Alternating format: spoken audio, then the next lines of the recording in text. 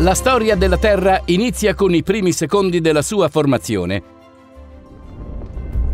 Si svolge da quasi 4,6 miliardi di anni, segnata da estinzioni massicce, episodi catastrofici, ma anche periodi di stabilità, la Terra non smette mai di evolversi. Misterioso pianeta blu dell'universo, è l'unico oggi conosciuto a ospitare una forma di vita umana. Ecco uno sguardo indietro al suo accrescimento e alla sua evoluzione. Per rappresentare più facilmente la scala temporale, i valori di miliardi e milioni di anni sono ridotti a 12 ore, cioè a un giro di quadrante. La creazione della Terra avviene dalle 0000 e l'anno 22 è rappresentato dalle ore 12.00. Durante queste 12 ore attraverseremo quattro periodi cronologici l'Adeano, l'Archeano, il Proterozoico e il Fanerozoico. Caro viaggiatore, bentornato. Oggi torneremo indietro nel tempo per scoprire i misteri della formazione del nostro pianeta e tutti quegli incredibili fenomeni che rendono la nostra Terra così unica. Prima di partire per una nuova avventura, pensa a mettere un like al video e a iscriverti al canale per non perderti nulla. Grazie e buon viaggio!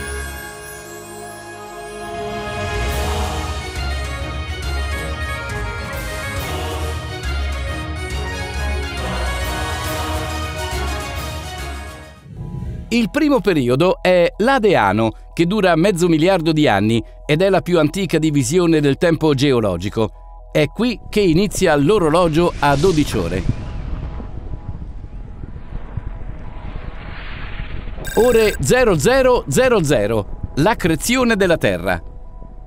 4,54 miliardi di anni fa, la creazione della Terra inizia con la formazione del Sole. Qualche milioni di anni prima, il collasso gravitazionale di una piccola parte di una nube molecolare ha fatto apparire la nostra stella.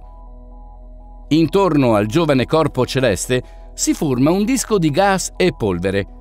Questi granelli si raggruppano lentamente fino a formare piccoli corpi solidi, le primizie dei pianeti in via di formazione, i planetesimi.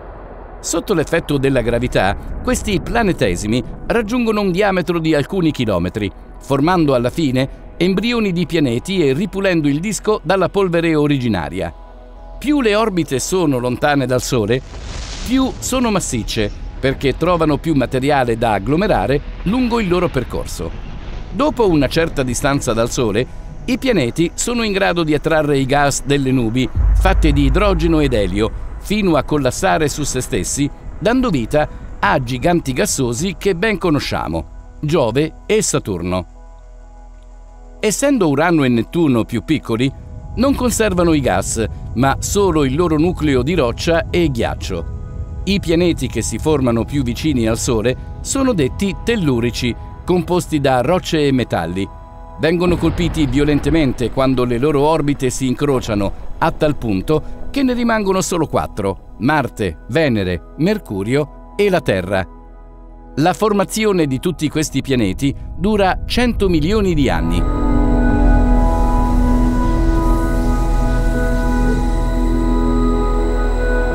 Ore 0006, la formazione della Luna. Teia, un protopianeta, vaga in una zona stabile del cosmo, alla stessa distanza della Terra dal Sole quando raggiunge le dimensioni del pianeta Marte, Teia viene destabilizzato dall'influenza gravitazionale degli altri pianeti. La sua orbita diventa caotica e si scontra violentemente con la giovane Terra in formazione 4,52 miliardi di anni fa. L'urto è così violento che il nucleo di ferro di Teia precipita nel cuore della Terra. Il resto del pianeta e parte del mantello terrestre vengono espulsi nel cosmo. Tutti questi materiali in orbita intorno alla Terra finiscono per riunirsi e dare vita al satellite che è la Luna, a circa 22.500 km. La Luna stabilizza l'asse di rotazione della Terra e rallenta questo stesso movimento grazie al fenomeno dell'attrito mareale, che spiega come in questo momento un giorno duri solo 6 ore e un anno conti 1434 giorni. Ore 0022. La formazione della crosta terrestre. 60 milioni di anni dopo la formazione della Luna, la superficie della Terra subisce importanti impatti di corpi di dimensioni modeste che provocano un rilascio di calore. Questa energia cinetica si trasforma in energia termica. Anche gli elementi radioattivi, come il potassio o l'uranio, ancora poco disintegrati, producono calore che si aggiunge a quello derivante dalle collisioni. La terra iniziale è molto calda. Non potendo evacuare questo calore, esso viene immagazzinato, fonde le rocce e forma un oceano di magma. Mentre finora era abbastanza omogenea nella sua struttura fisica e chimica, la Terra inizia a distinguersi. Il ferro e il nickel, gli elementi pesanti, affondano sul fondo dell'oceano magmatico e si accumulano al centro del pianeta sotto l'effetto della gravità, dando vita al nucleo metallico. I silicati, elementi più leggeri, rimangono in superficie dando forma al mantello terrestre. A poco a poco il magma sulla superficie della Terra si solidifica e sul mantello si forma la crosta, con uno spessore che va da una a diverse decine di chilometri, si spacca in alcuni punti e si separa in placche, che sono i futuri continenti. Il mantello rimane liquido e la crosta può andare alla deriva come una zattera sul magma.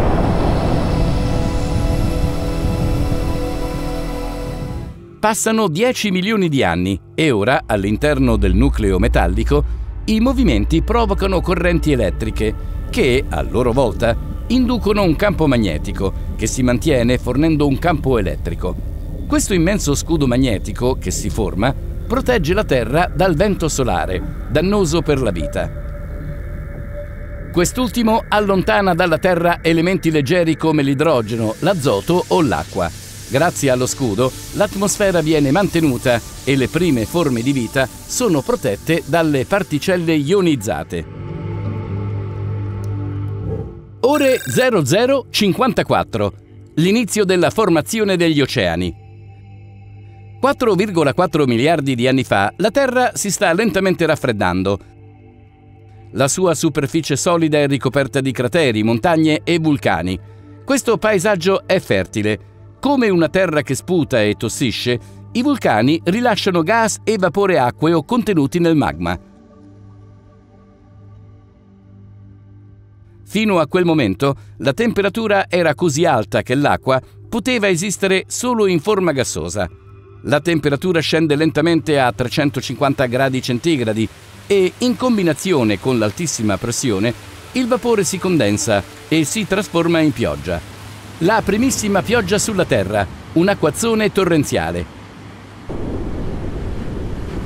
Miliardi di molecole d'acqua provenienti dall'atmosfera diventano liquide e cadono a terra. L'acqua invade i paesaggi rocciosi, cola dai crateri lungo le montagne questo accumulo di acqua nelle zone basse del rilievo copre la superficie della Terra e dà vita ai primi laghi e oceani. Il volume totale degli oceani si formerà in 50 milioni di anni. Il successivo periodo principale è l'Archeano, che dura 1,5 miliardi di anni ed è generalmente associato alla comparsa delle prime forme di vita sulla Terra.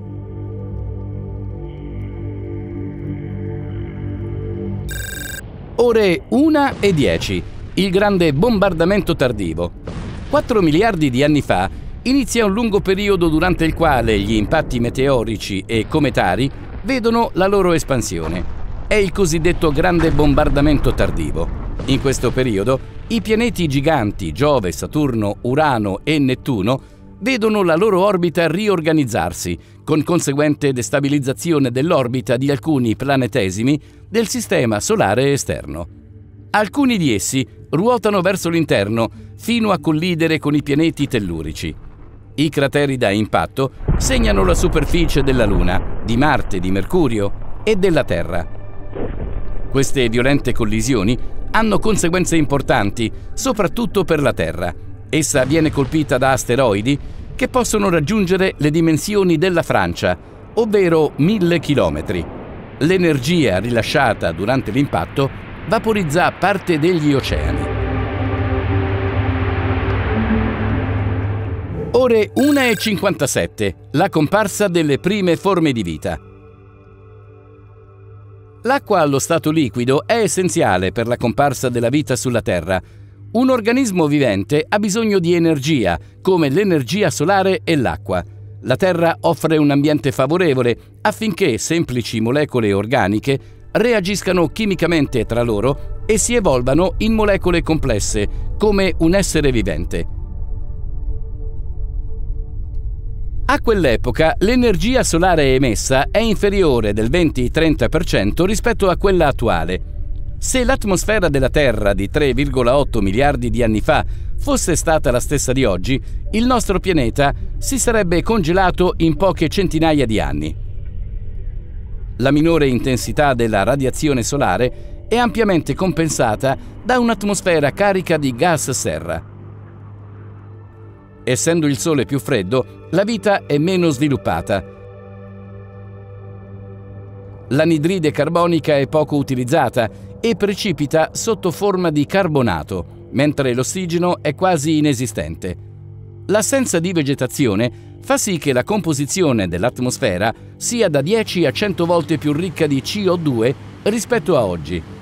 L'assenza di ossigeno lascia il metano, CH4, in questa forma per un periodo di tempo più lungo, poiché non viene trasformato in CO2. È molto presente nell'atmosfera. Grazie alla significativa presenza di gas serra, la Terra ha un clima temperato. Nonostante il sole freddo, l'acqua liquida è presente su tutto il globo. Le premesse per l'ingresso in scena delle prime cellule e per l'insediamento dei primi batteri negli oceani ci sono tutte. Numerosi cianobatteri o alghe blu-verdi si annidano nelle zone costiere, tra i limiti estremi delle maree.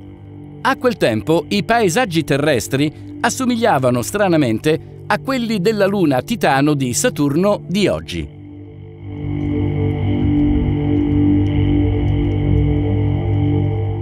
Ore 3 e 01, la comparsa della fotosintesi ossigenica. I numerosi cianobatteri sono in grado di fissare la CO2 che riempie l'atmosfera costruendo stromatoliti. Queste costruzioni calcaree, sotto forma di ondulazioni ammassate o di ammassi simili a cavolfiori, sono segnate da esseri viventi. In grado di effettuare la fotosintesi, cioè di catturare CO2 e rilasciare O2, questi organismi provocano uno squilibrio nelle reazioni chimiche e fanno precipitare il carbonato di calcio. I fini accumuli di particelle si modellano in stromatoliti sotto forma di fogli di carbonato. Tre comunità microbiche compongono le stromatoliti, cianobatteri in superficie, batteri fotosintetici nello strato intermedio e batteri anaerobi nello strato inferiore. I primi organismi viventi compaiono nell'acqua. L'atmosfera terrestre è priva di ossigeno. Hanno utilizzato la radiazione solare, un'energia leggera ed effimera, per trasformare l'acqua e la CO2 in carboidrati, un'energia immagazzinabile. Questa trasformazione genera un prodotto di scarto, l'ossigeno O2. 3,5 miliardi di anni fa Quest'ultimo è molto dannoso per gli organismi viventi. Alcuni organismi si sono quindi adattati fino a incorporare questi rifiuti nel loro metabolismo. Le prime molecole di ossigeno formatesi non si accumulano immediatamente nell'atmosfera, reagiscono prima con il ferro contenuto nell'acqua e formano l'ossido di ferro, che rimane limitato al mezzo liquido. Solo un miliardo di anni dopo, quando gli oceani saranno saturi di ferro, l'ossigeno inizierà ad accumularsi nell'atmosfera. Ore 04 e 01. La formazione dei primi continenti. La costruzione dei continenti inizia sott'acqua. L'emersione subaerea dei primi continenti è associata all'inizio della tettonica a placche. Da 300 a 400 milioni di anni di attività oceanica hanno permesso la costruzione di un altopiano sottomarino, un ammasso progressivo di lava che raggiunge i 50 km di spessore. A causa del peso di questo altopiano, esso rimane sommerso nel mantello superiore. Per le leggi dell'isostasia, il mantello tende a riequilibrarsi e spinge l'altopiano meno denso verso l'alto.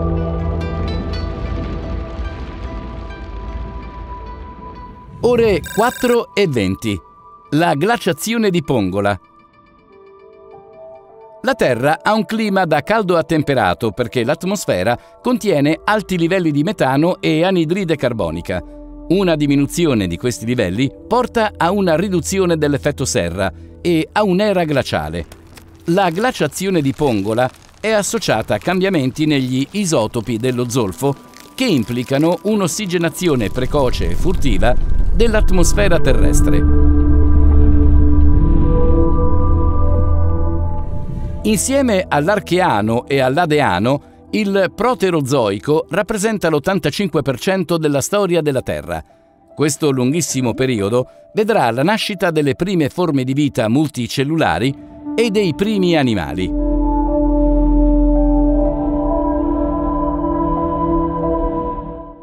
Sono passati 2 miliardi di anni dalla formazione della Terra. Un giorno dura poco più di 12 ore e un anno ha 714 giorni.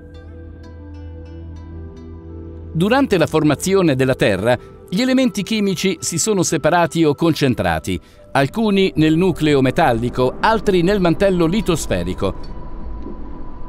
La tettonica a placche che ha avuto luogo ha fornito nuove condizioni di temperatura e pressione che hanno permesso a specifici minerali di prosperare.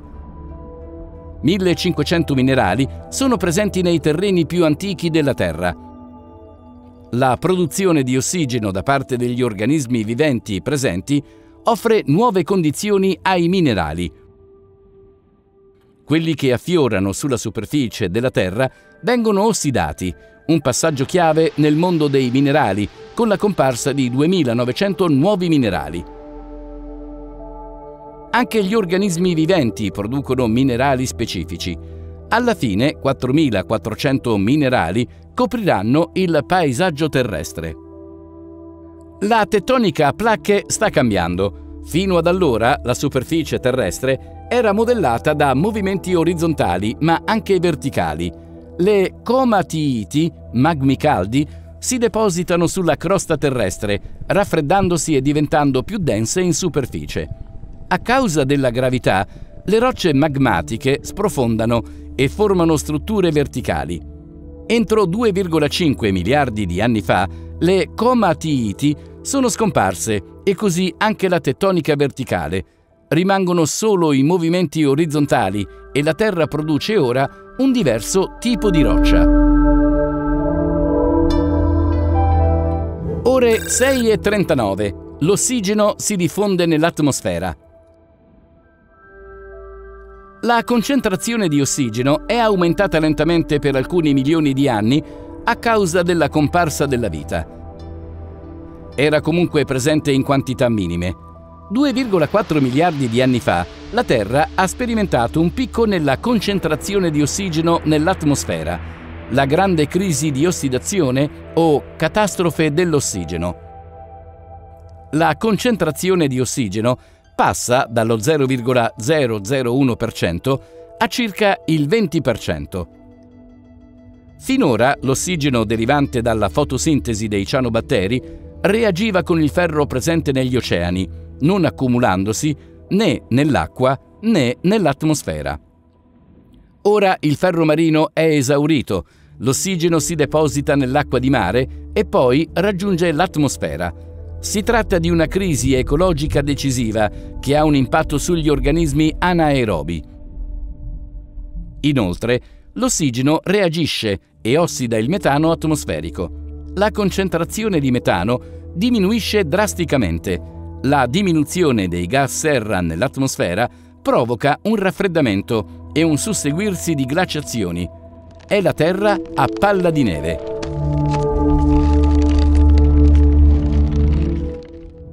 Ore da 5,26 a 6,26. La grande glaciazione. La vita raffredda il clima e porta a una successione di periodi di glaciazione e deglaciazione.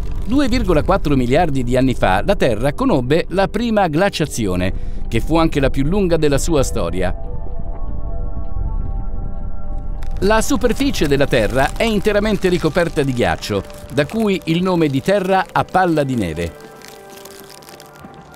Con la comparsa della vita compare anche l'ossigeno, allo stesso tempo la CO2 viene intrappolata nei calcarei in formazione, generando una minore presenza nell'atmosfera.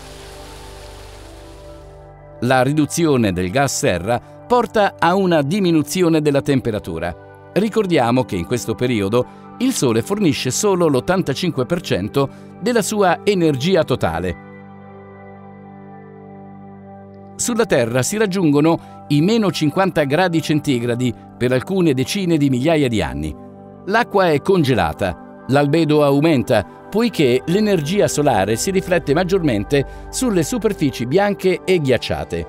Il congelamento è accentuato. La Terra appare come una palla di ghiaccio. Anche se questa situazione sembra catastrofica e irreversibile, gli strati interni della Terra rimangono attivi i vulcani emettono CO2 che si accumula sotto il ghiaccio fino al giorno in cui la Terra diventa dirompente. Questa CO2 viene poi rilasciata nell'atmosfera, accentuando l'effetto serra e riscaldando il pianeta. Segue un periodo di deglaciazione che dura alcune decine di migliaia di anni. Questo fenomeno di glaciazioni e deglaciazioni successive si verifica quattro volte in un periodo di 300 milioni di anni.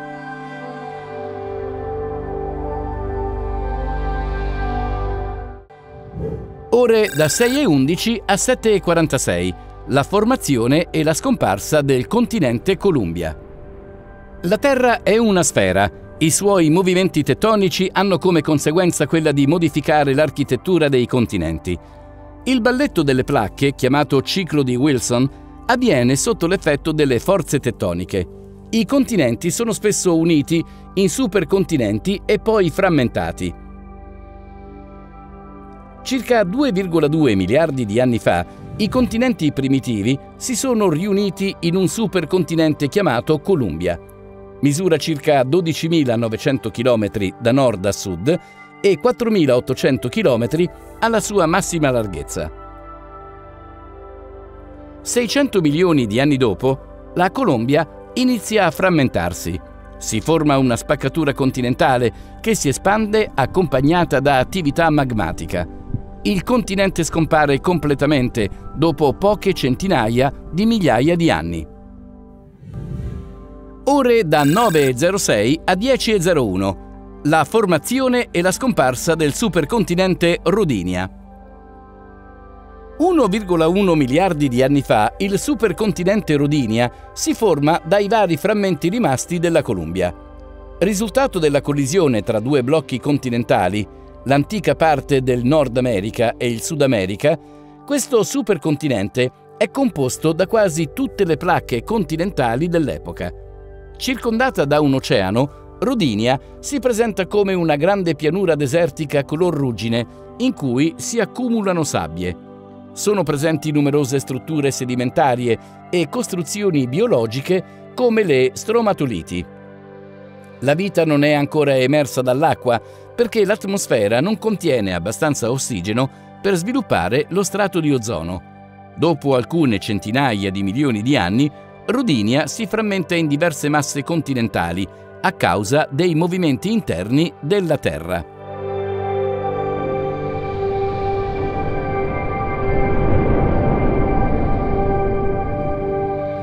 Le masse continentali della Terra sono in continuo movimento, a volte raggruppate, a volte separate. Durante la formazione dei supercontinenti, il calore interno della Terra può essere evacuato solo per conduzione, che non è molto efficiente. Si accumula quindi portando a un aumento della temperatura sia del mantello superiore sia della crosta inferiore. La densità delle rocce diminuisce, esse salgono in superficie adottando le forme di cupole che si rompono e permettono al magma di diffondersi. 850 milioni di anni fa si forma un superdomo. Si fende e lascia salire la lava, creando delle trincee di collasso. Dopo qualche milione di anni, l'acqua riempie le fosse e forma nuovi oceani. Ore da 10.06 a 10.20. Glaciazione sulla Terra. 750 milioni di anni fa Rodinia scompare. I piccoli frammenti dell'ex supercontinente si trovano vicino all'equatore. La temperatura diminuisce e si estendono grandi superfici ghiacciate. Queste superfici riflettono maggiormente la radiazione emessa dal Sole rispetto agli oceani più scuri e il raffreddamento aumenta. La Terra si congela per uno spessore di oltre un chilometro, diventando una terra a palla di neve. La vita trova rifugio sul fondo degli oceani grazie alle particolari proprietà dell'acqua. Mentre la temperatura dell'acqua diminuisce in superficie fino a 4 gradi centigradi, la sua densità e il suo volume aumentano. Forma una corrente e affonda, garantendo l'omogeneizzazione della temperatura su tutta la profondità. Quando la temperatura scende sotto i 4 gradi centigradi, il ghiaccio in superficie forma una protezione termica. Anche durante i periodi di freddo estremo, il fondo dell'acqua, dei laghi o degli oceani non congela, consentendo ad alcuni organismi viventi di sopravvivere. La vita rimane confinata nell'acqua. Le molecole che compongono la materia vivente sono fotosensibili. Potrebbero essere distrutte se sottoposte a certe radiazioni, in particolare ai raggi ultravioletti. 600 milioni di anni fa l'ozono si è formato e accumulato naturalmente nella stratosfera. Questa molecola, composta da tre atomi di ossigeno, assorbe i raggi ultravioletti, proteggendo così gli organismi viventi dai loro effetti nocivi. In quel momento si raggiunge una prima soglia di concentrazione, formando lo strato di ozono, che ha ripercussioni sulla diversità marina. Favorevole allo sviluppo della vita quando si trova oltre i 15 km di altitudine, l'ozono è particolarmente ossidante e pericoloso se si trova nell'aria che ci circonda. Ore da 10.24 a 10.34. La formazione e la scomparsa del supercontinente Pannotia. Un nuovo supercontinente si forma in seguito a violente collisioni. Pannotia. Si disgrega qualche milioni di anni dopo, durante una fase attiva della tettonica a placche. Questa rottura, come tutte le altre, favorisce la diversificazione delle specie. È così che si è sviluppata la fauna marina dell'Ediacarano. Gli organismi multicellulari con corpo molle apparvero circa 585 milioni di anni fa. Privi di uno scheletro mineralizzato, la loro forma è molto varia e straordinaria, al punto da beneficiare di un nome specifico, la fauna ediacarana. Questi organismi hanno l'aspetto di dischi, tubi o sacchetti soffici. Sono state contate solo 100 specie. Questa prima emanazione della diversificazione degli organismi pluricellulari è di breve durata, poiché scomparirà 40 milioni di anni dopo. Il Fanerozoico è un periodo molto più breve dei precedenti. Continua ancora oggi. Sul nostro orologio manca meno di un'ora e mezza al nostro presente. Ciò che accadrà in questo eone è di grande importanza per l'uomo, eppure rappresenta solo una minima parte della storia della Terra. Ore 10.34. Esplosione cambriana. I primi esseri pluricellulari. 541 milioni di anni fa nell'arco di pochi milioni di anni apparvero improvvisamente grandi quantità di organismi pluricellulari. Forme completamente nuove diedero origine ai grandi fila metazoici e a una grande diversità di specie animali, vegetali e batteriche. Una delle caratteristiche delle specie di questo periodo è la comparsa di tessuti duri sotto forma di scheletri mineralizzati. Vengono ritrovati piccoli fossili con conchiglie che rispondono alla necessità di proteggersi da eventuali predatori. Un oceano, l'Apeto, che separava il continente Baltica dal continente Laurentia, si chiude sotto l'impulso della tettonica a placche. 530 milioni di anni fa sorge una catena montuosa, un gigantesco complesso montuoso chiamato catena caledoniana. Si erge al posto di quello che oggi è il nord dell'Europa e dell'America ed è soggetta a una forte erosione. Le terre del Canada, di Terranova, della Groenlandia, della Scandinavia, della Scozia, della Gran Bretagna e delle Ardenne sono in questo momento molto vicine. La Luna si trova a 360.000 km dalla Terra. 30 milioni di anni dopo, le maree oceaniche sono frequenti e potenti. Il mare si ritira molto lontano e invade notevolmente i continenti. La vita era fino ad allora contenuta nel mezzo liquido. Un'evoluzione decisiva avviene 480 milioni di anni fa. Da quel momento in poi, piante simili a licheni e muschi si stabilirono sulla terraferma. Hanno adottato strategie per resistere al disseccamento. Alcune sono in grado di rinascere, altre sono ornate da cuticole impermeabili che consentono lo scambio di gas, limitando la perdita di acqua. Queste piante si aggrappano alle rocce grazie alle punte, forniscono la materia prima per la degradazione dei microorganismi. Ore 10.49. Estinzione dell'ordoviciano siluriano. 445 milioni di anni fa la Terra subì la prima grande crisi della vita. Durante l'Ordoviciano, che dura da meno 485 a meno 443 milioni di anni prima della nostra era, la temperatura degli oceani scende di 15 gradi centigradi. La vita che non poteva prosperare in un ambiente a 45 gradi centigradi si rallegra della nuova condizione e gli oceani, intorno ai 30 gradi centigradi, diventano teatro della comparsa di una moltitudine di specie Appaiono nuovi gruppi mentre quelli esistenti si diversificano. Intorno a meno 445 milioni di anni si verifica un significativo raffreddamento accompagnato dall'instaurarsi di un'era glaciale. La glaciazione provoca un abbassamento del livello del mare e la scomparsa delle zone di acqua bassa, che erano un luogo favorevole allo sviluppo della vita. Questo evento, che dura circa 10 milioni di anni, porta alla scomparsa di molte specie marine, soprattutto di quelle bentoniche rimaste sul fondo del mare. La durata di un giorno è di 22 ore. 400 milioni di anni fa viene raggiunta una seconda soglia di ossigeno e ozono che porta all'uscita dalle acque dei primi artropodi terrestri che si insediano gradualmente sui continenti.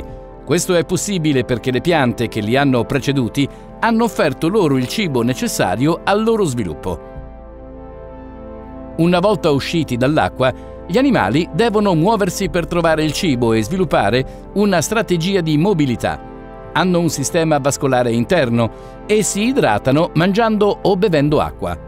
La riproduzione rimane dipendente dall'ambiente acquatico. Le piante che producono semi, le spermatofite, si sviluppano lentamente circa 390 milioni di anni fa. Gli elementi che assicurano la riproduzione non sono più le spore, ma i gameti. Il seme permette il trasporto degli elementi riproduttivi e garantisce la propagazione della specie. Si tratta di uno sconvolgimento nel mondo della botanica, poiché la riproduzione delle piante si libera dalla dipendenza dall'acqua e diventa aerea. Nel Devoniano si verifica un episodio di estinzione dovuto a un forte raffreddamento. Le aree lontane dalle grandi masse continentali sono colpite dalla mancanza di ossigeno. La moltiplicazione delle piante consuma molta anidride carbonica per la fotosintesi, causando un abbassamento della temperatura e anossia negli ambienti marini. Il 75% delle specie marine e quasi tutto l'ambiente della barriera corallina scompaiono. Ore 11.03. Inizio del Carbonifero. Inizio del periodo carbonifero, caratterizzato dalla deposizione di grandi strati di carbone. Le masse continentali si uniscono, i primi grandi alberi compaiono in abbondanza e si perpetua una grande varietà di piante. Si sviluppano i brachiopodi e troviamo grandi anfibi e i primi rettili.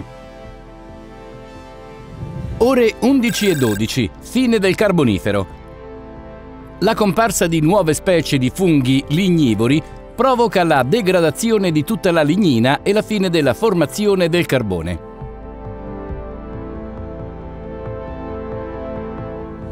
Ore 11 e 12. La formazione della Pangea. Pangea, un supercontinente, si forma dalla collisione di Laurussia e Proto-Gondwana, che in precedenza raggruppavano tutte le masse terrestri.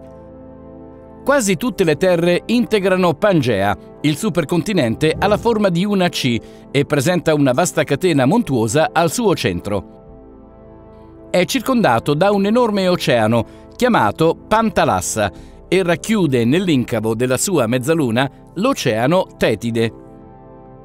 La formazione di Pangea ha ripercussioni sulla vita, poiché si riduce la superficie delle acque costiere, che in precedenza ospitavano molte specie marine.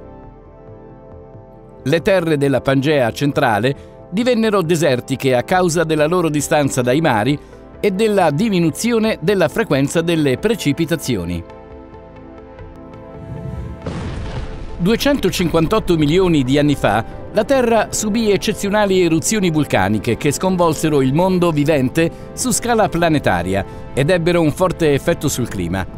L'attuale Monte Emei in Cina emette colate di lava che coprono 330.000 km2, con uno spessore di 1 o 2 km. Viene rilasciata una grande quantità di CO2, vapore acqueo, gas serra e gas solforosi. La luce solare viene attenuata a causa delle particelle emesse. Un calo della temperatura precede un brutale riscaldamento legato ai gas emessi. Ore 11.20. Fine dell'era primaria, grande crisi del Permiano Triassico. Nell'attuale Siberia si verifica una grande eruzione vulcanica. Cumulata con l'eruzione avvenuta 6 milioni di anni prima e con le conseguenze della formazione di Pangea, gli effetti sono catastrofici per la vita. Questa crisi del Permiano Triassico è la più importante che la Terra abbia mai attraversato è chiamata la grande estinzione. Nei continenti scomparve il 70% delle specie e negli oceani il 95% delle specie marine. Tutti i gruppi sono stati colpiti, alcuni sono stati sradicati come i trilobiti o i microorganismi marini unicellulari, altri sono stati decimati come i gigli di mare, le felci o i brachiopodi. Da quel momento in poi la biodiversità si è evoluta in modo diverso.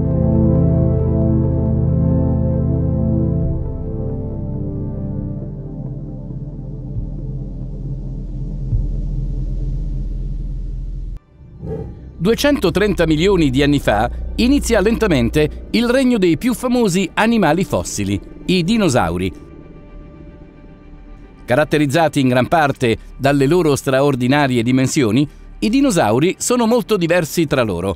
Esistono da 200 milioni di anni e si trovano in tutti i continenti, in molte forme diverse. La maggior parte di essi è terrestre, ma alcuni sono volanti, bipedi, quadrupedi, carnivori o erbivori.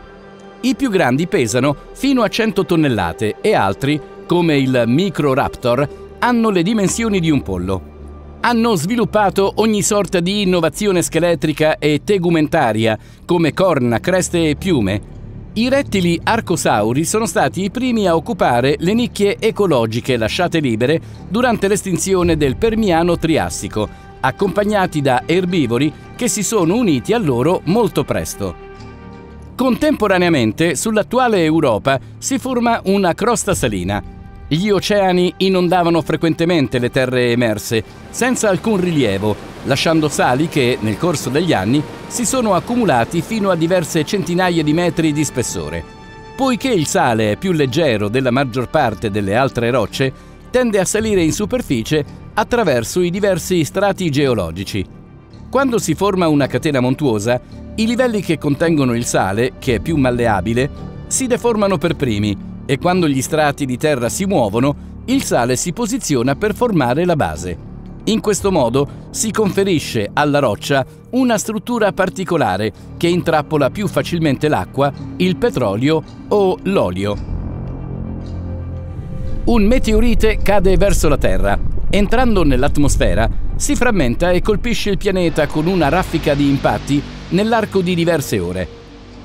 Si verifica un urto molto violento a una velocità di circa 20 km al secondo, che lascia dietro di sé un cratere di 21 km di diametro e modifica le rocce in profondità. Attualmente si trovano crateri da impatto in Canada, Francia, Ucraina, Stati Uniti e San Martin. 200 milioni di anni fa, il meteorite Roche-Couart, che ha impattato in Francia, vicino a una costa poco profonda, ha innescato un terremoto di magnitudo 8,2 e ha generato un grande maremoto che ha investito la terraferma fino a 1300 km di distanza.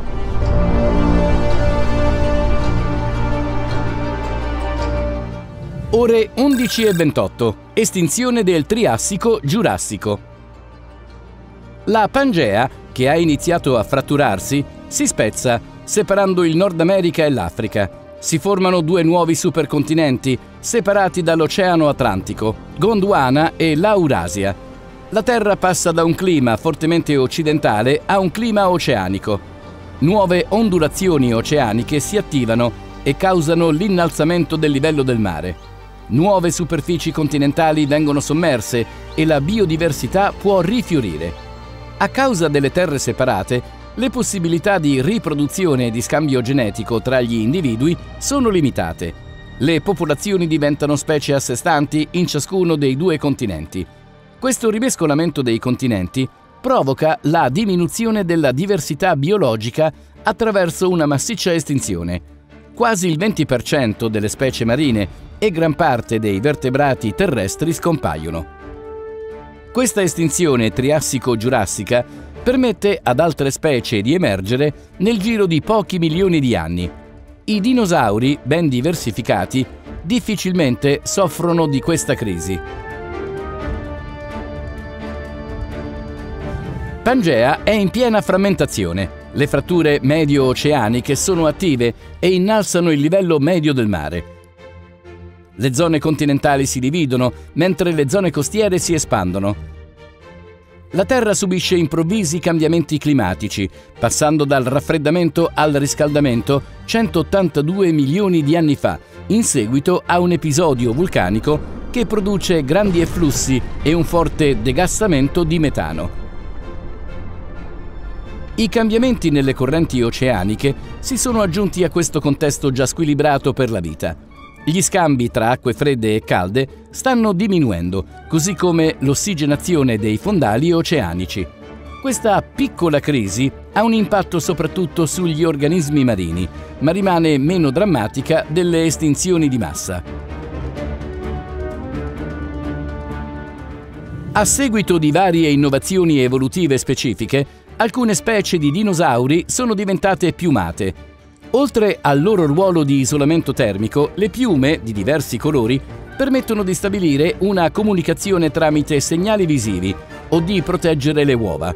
Hanno un ruolo locomotorio significativo.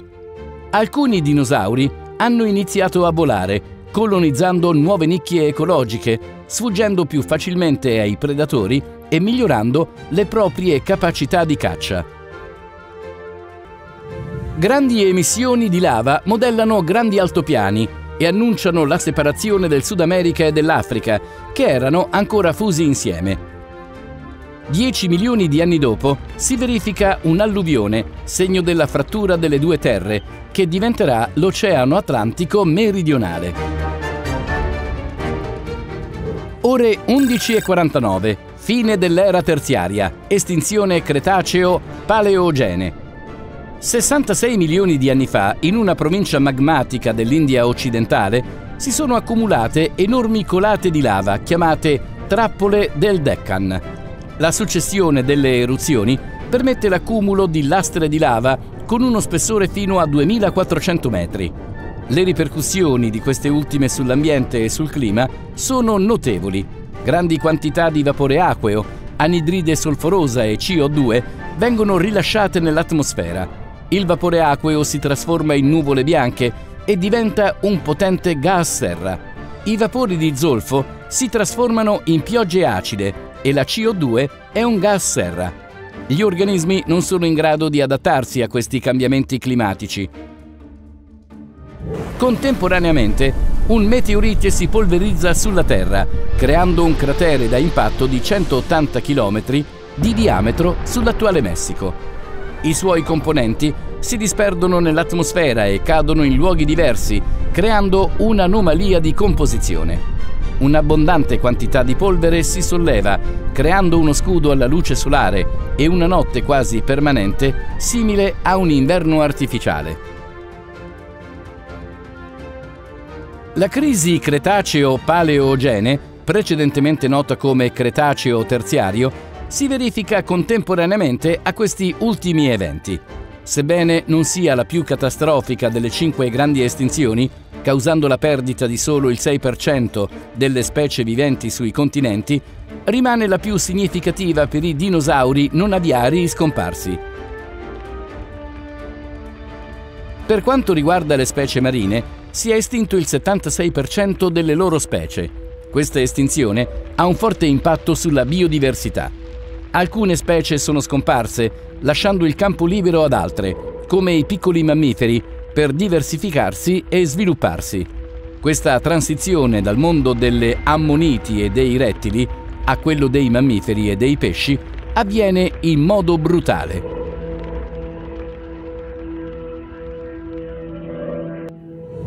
All'inizio della sua frammentazione, Pangea si separa in due blocchi, l'Aurasia e Gondwana, che contiene la placca che costituirà l'India. Qualche milione di anni dopo, un punto caldo di vulcanismo separa l'India dal Sudafrica, finché, qualche tempo dopo, un passaggio marino li separa. L'India continua il suo percorso e 65 milioni di anni fa, nel mezzo dell'attraversamento dell'Oceano Tetide, passa sopra un punto caldo di vulcanismo che accelera il suo movimento. L'India si sposta quindi verso nord, fino a scontrarsi violentemente con l'attuale Asia. Questa violenta collisione ha dato origine all'Himalaya in superficie e a particolari minerali come gli smeraldi birmani nelle sue profondità. Si verifica una crisi climatica con conseguenti episodi ipertermali, il principale dei quali è chiamato massimo termico del Paleocene e Ocene. Questo evento è dovuto alla destabilizzazione termica degli idrati di metano presenti nei sedimenti, che porta a un significativo rilascio di metano nell'atmosfera. La temperatura dell'oceano profondo si riscalda di circa 5 gradi centigradi e raggiunge i 10 gradi centigradi. Le acque superficiali si aggirano intorno ai 23 gradi centigradi e sono a 20 gradi centigradi nella zona artica. Questo riscaldamento generale sconvolge il ciclo del carbonio ed è accompagnato da una crisi biologica con l'estinzione di circa il 40% delle specie di foraminiferi bentonici e la comparsa dei principali ordini di mammiferi moderni. Il titanoboa, un rettile a sangue freddo che pesa fino a una tonnellata, è apparso in questo ambiente caldo e umido.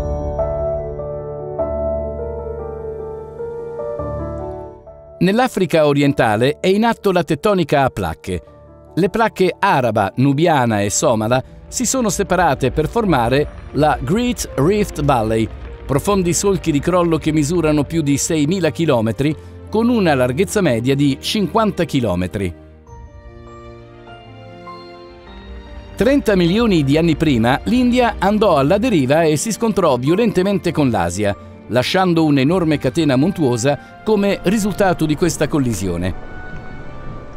Durante la collisione, blocchi continentali sono stati espulsi e grandi faglie si sono propagate, dividendo il cuore del continente e spingendo due parti verso il Pacifico.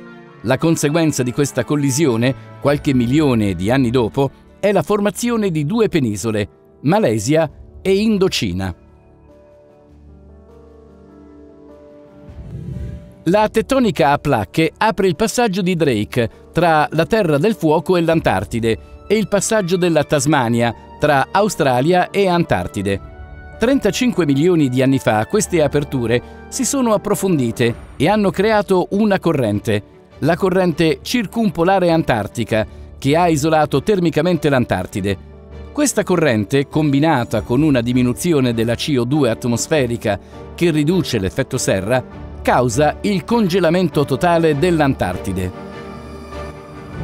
Formata dall'accumulo di rocce vulcaniche, l'isola di Islanda emerse dalle acque 24 milioni di anni fa. Il vulcanismo dell'isola è iniziato 30 milioni di anni prima, durante la separazione tra il nord Europa e la Groenlandia. L'Islanda fa parte di una catena montuosa sottomarina con rilievi che misurano dai 3.000 ai 4.000 metri.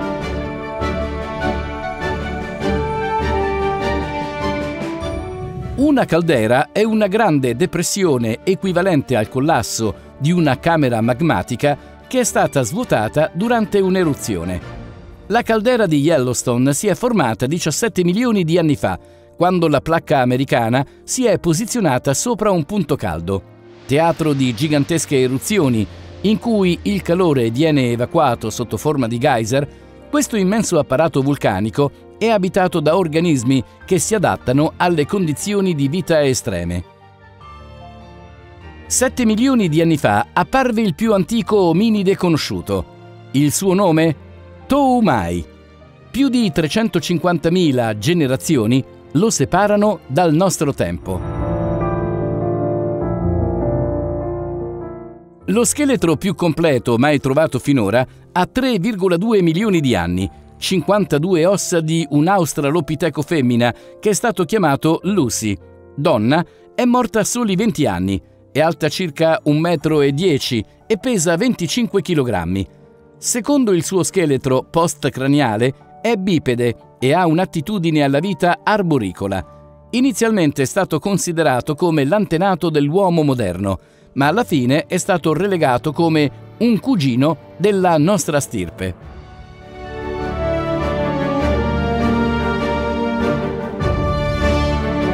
Ore 11.59. Le glaciazioni del Quaternario. L'era quaternaria è iniziata 2,6 milioni di anni fa. È il periodo più recente della scala dei tempi geologici. È caratterizzata dalle glaciazioni e dalla radiazione evolutiva del genere Homo. Almeno 17 periodi di glaciazione si sono susseguiti, separati da periodi interglaciali. Questa successione di cambiamenti climatici genera cicli di estinzione e ricolonizzazione degli ambienti e diversifica le specie.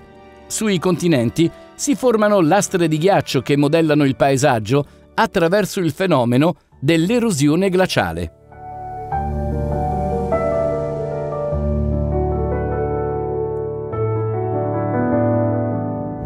In seguito alla chiusura dell'Istmo di Panama, si verifica un trasferimento di mammiferi tra il Sud America e il Nord America, chiamato Grande Scambio Interamericano. Istrici, formichieri e armadilli si spostano a nord, mentre cavalli, cervi, elefanti e procioni si spostano a sud.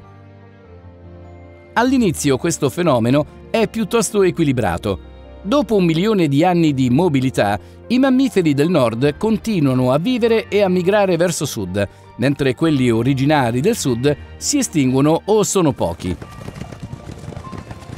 2,5 milioni di anni dopo, solo il 10% dei mammiferi settentrionali è di origine meridionale, mentre la metà della fauna meridionale è di origine nordamericana. Compare un nuovo genere di ominidi bipedi, ben distinto dal genere Australopithecus, già presente sulla Terra. Si tratta del genere Homo. Homo habilis è la prima specie rappresentativa del genere, 2,4 milioni di anni fa in Africa. In seguito compariranno diverse specie distribuite nei diversi continenti.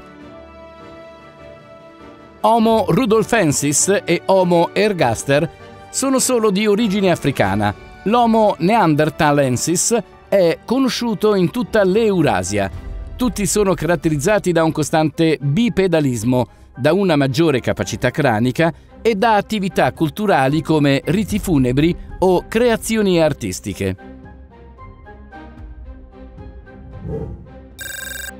Ore 12 meno 10 secondi. Comparsa dell'Homo erectus.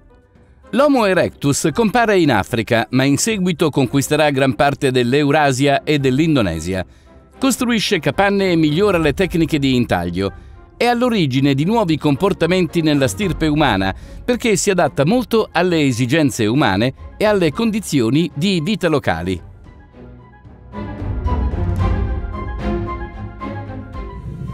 Molto prima di addomesticarlo, i rappresentanti del genere Homo utilizzavano il fuoco, che nasceva naturalmente dai fulmini, e lo sfruttavano spontaneamente.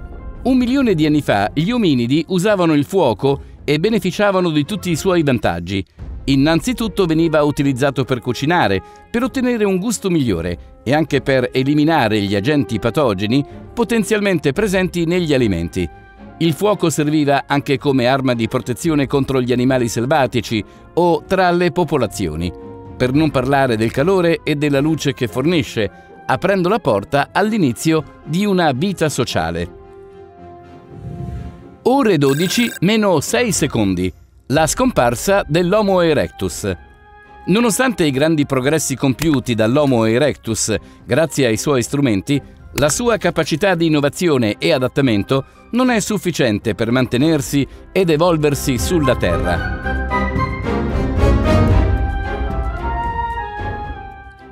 L'uomo di Neanderthal entra nella storia della razza umana poco più di 250.000 anni fa.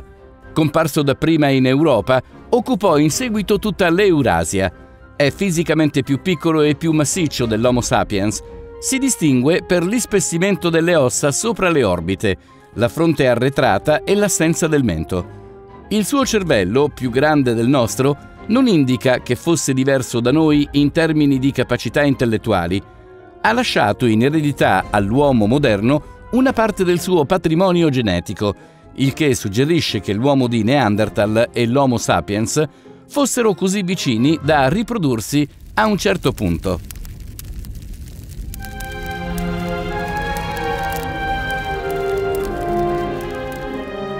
Ore 12 meno 5 secondi. La comparsa dell'uomo moderno. La stirpe umana si differenzia qualche centinaio di migliaia di anni fa con la comparsa dell'Homo sapiens. È l'unico rappresentante attuale del genere Homo.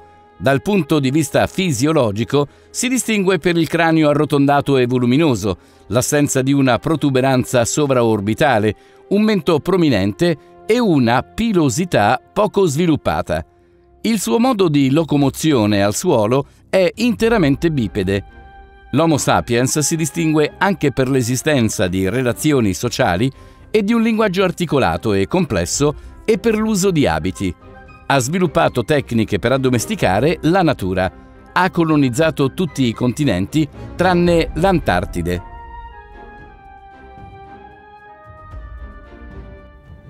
Le prime sepolture compaiono più di 100.000 anni fa. Le persone ora prestano attenzione intenzionale ai loro morti e li seppelliscono invece di sbarazzarsene semplicemente. Dato l'esiguo numero di sepolture documentate, possiamo ipotizzare che Neanderthal e Homo sapiens abbiano selezionato chi seppellire. La comparsa di sepolture causa una scarsa conservazione delle scatole craniche nel tempo. In precedenza venivano conservate negli habitat dei loro parenti e venivano ritrovate in condizioni migliori. Un frammento di meteorite di ferro, del diametro di circa 20 metri, si schianta sulla Terra in Arizona a una velocità di 50.000 km orari. Il suo cratere d'impatto, chiamato Meteor Crater, misura poco più di un chilometro di diametro e quasi 200 metri di profondità. L'energia rilasciata durante l'impatto è colossale. 150 milioni di tonnellate di roccia vengono espulse e si distribuiscono su 260 km quadrati. L'onda d'urto travolge e polverizza tutto ciò che si trova in un raggio di circa 15 km. L'area sarà ricolonizzata da organismi in un anno.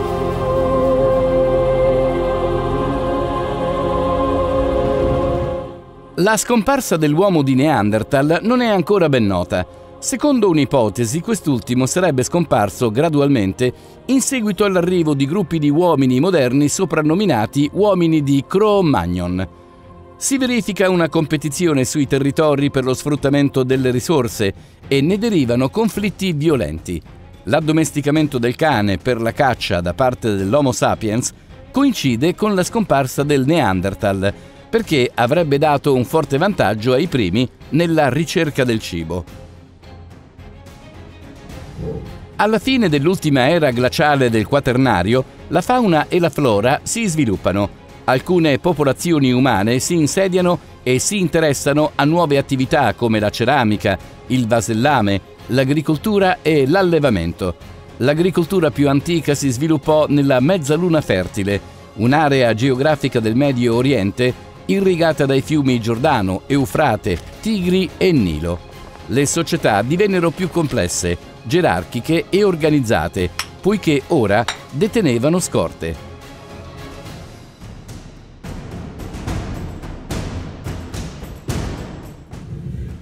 Novemila anni fa si formò lo stretto del Bosforo tra il continente asiatico e quello europeo. Le acque del Mar di Marmara confluirono nel Mar Nero, che fino ad allora era un lago d'acqua dolce profondo dai 30 ai 100 metri. Il Sahara, il più grande deserto caldo nel nord del continente africano, nel 6000 a.C. offriva uno scenario completamente diverso. Gli 8,5 milioni di chilometri quadrati che copre erano all'epoca verdissimi. Come una gigantesca savana tropicale, gazzelle, ippopotami ed elefanti venivano ad abbeverarsi intorno ai laghi presenti. Questo è l'ultimo episodio verde o periodo umido africano che il Sahara vivrà legato all'inizio del periodo interglaciale durante il quale le abbondanti piogge bagnano la regione. A partire dal 5500 a.C. si verifica un cambiamento climatico e le piogge diventano rare. La sabbia ricopre gradualmente l'intero Sahara e le specie tropicali lasciano il posto a specie adattate alle condizioni del deserto.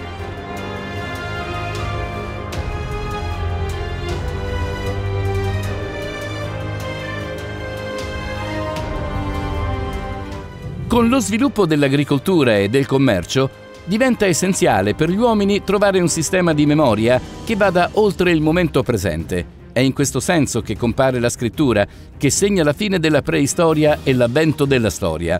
È in Mesopotamia, una regione storica situata tra le rive dei fiumi Tigri ed Eufrate, nel cuore dell'attuale Iraq, che sono state trovate le prime tracce di scrittura, intorno al 3500 a.C. Gli uomini usavano piccole tavolette per annotare il nome del proprietario e la quantità di merci. Lontano da una scrittura basata su un alfabeto, i più antichi supporti trovati sono in forma di segni come pittogrammi e ideogrammi. Gradualmente i Sumeri svilupparono tecniche per produrre una scrittura più avanzata, la scrittura cuneiforme che si traduce con cunei incastrati tra loro per dare vita a segni. Solo nel XIV secolo a.C. ogni segno corrispondeva a una lettera.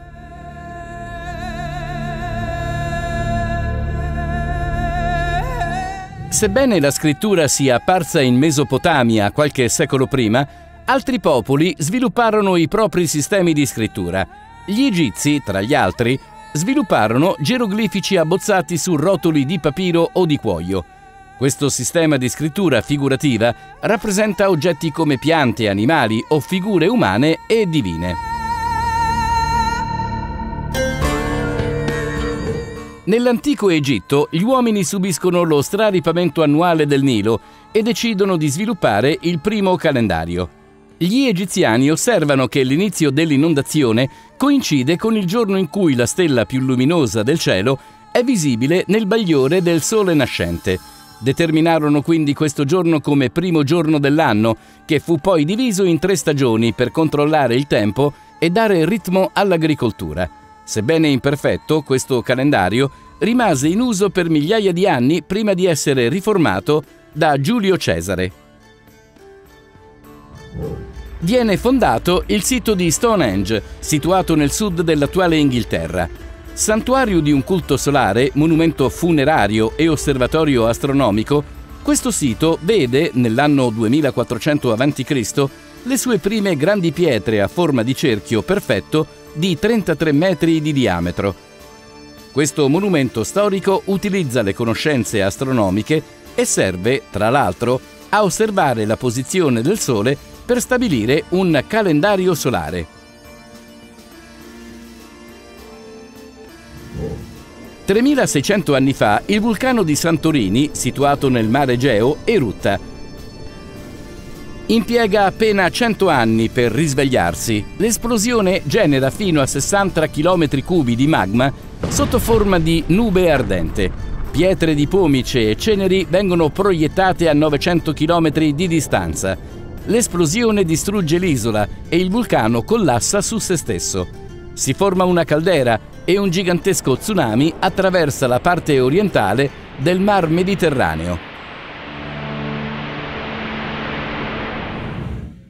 Nel 400 a.C. un primo pensatore afferma che la Terra non è immobile né al centro dell'universo. Filolao di Crotone, astronomo, matematico e filosofo, considera la Terra come un pianeta che ruota intorno al fuoco centrale, diverso dal Sole e situato al centro dell'universo. È il padre del sistema eliocentrico. Per lui il Sole, la Luna e i cinque pianeti visibili ruotano intorno a questo fuoco centrale. La più famosa eruzione vulcanica del Vesuvio ebbe luogo nell'anno 79 d.C. All'inizio grandi esplosioni sono generate dal contatto dell'acqua con il magma che viene vaporizzato. Poco dopo il tappo di lava si polverizza, espellendo frammenti a più di 30 km di altezza. Ogni ora si accumulano 15 cm di ceneri e pietre pomice, fino a quando il tappo collassa sotto il suo stesso peso e ricade in una nube piroclastica. Si verificarono diverse esplosioni che rovinarono Ercolano e Pompei. La parola vulcano appare.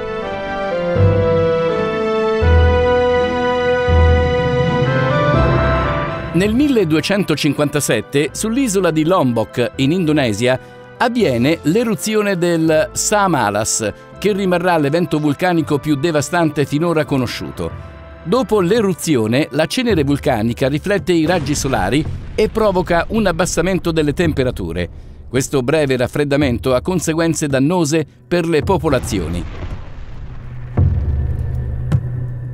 Nel 1543 una nuova visione dell'universo e della posizione della Terra e dell'uomo al suo interno. I metodi scientifici e la filosofia si evolvono da una rappresentazione geocentrica a una eliocentrica dell'universo.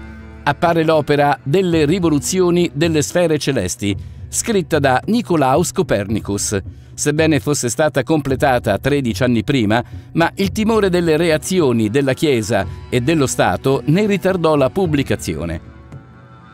La vera novità di quest'opera è che Copernico pose il Sole al centro del sistema e che fece ruotare i pianeti, compresa la Terra, intorno ad esso. La rivoluzione copernicana cambia la rappresentazione del mondo rispetto al passato la matematica ha ora un ruolo speciale nella descrizione delle leggi fisiche dell'universo.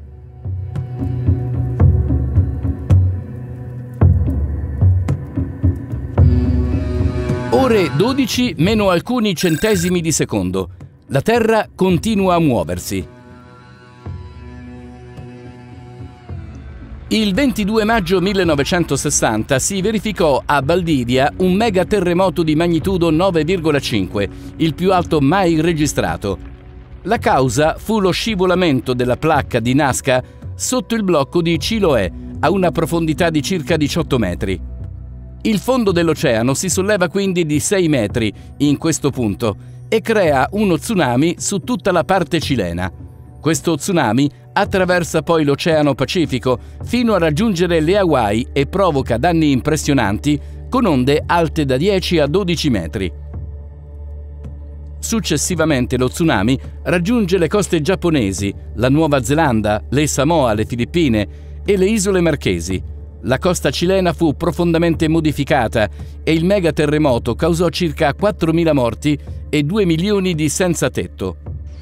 Il 24 maggio 1960, due giorni dopo, il vulcano Cordon Coye, situato nel sud del Cile, sulle Ande, eruttò dopo oltre 25 anni di inattività.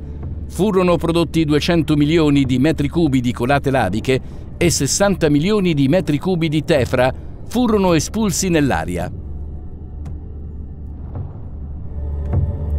Ore 12. La Terra di oggi. Oggi la Terra rimane il quinto pianeta del Sistema Solare per diametro e massa. Orbita intorno al Sole in 365 giorni solari. Il suo asse di rotazione inclinato di 23 gradi provoca l'alternanza delle quattro stagioni. La Luna, il suo unico satellite naturale, si trova a 384.000 km. Le placche tettoniche che compongono la litosfera continuano a muoversi di qualche centimetro ogni anno il 71% della sua superficie è coperto da acqua, sotto forma di oceani, laghi e fiumi. Le regioni polari sono in gran parte ricoperte di ghiaccio. Più di 7,9 miliardi di persone vivono sulla Terra e dipendono dalle sue risorse naturali. La storia evolutiva della vita è stata costellata da periodi di espansione e di estinzione di massa, motivo per cui il 99% delle specie che un tempo vivevano sulla Terra sono oggi estinte. La storia della Terra non è come un lungo fiume tranquillo. Le forze della natura non danno tregua al nostro pianeta blu, sconvolgendo ogni volta l'equilibrio che si era creato. Oggi alle forze della natura si aggiunge l'attività umana, che porta a una perdita di biodiversità, a una crisi climatica e ad eccessi ecologici. Mentre in passato l'uomo era una pedina dei fenomeni geologici, Oggi la sua attività influisce sul futuro del pianeta. La storia della Terra è finita? No, il prosieguo sembra ancora molto lungo e anche se la nostra conoscenza ci permette di prevedere alcuni eventi, essa contiene l'inaspettato. Abbiamo scritto la storia della Terra fino alle ore 12. Ci vediamo in futuro per scoprire cosa ci riserva la seconda parte del quadrante.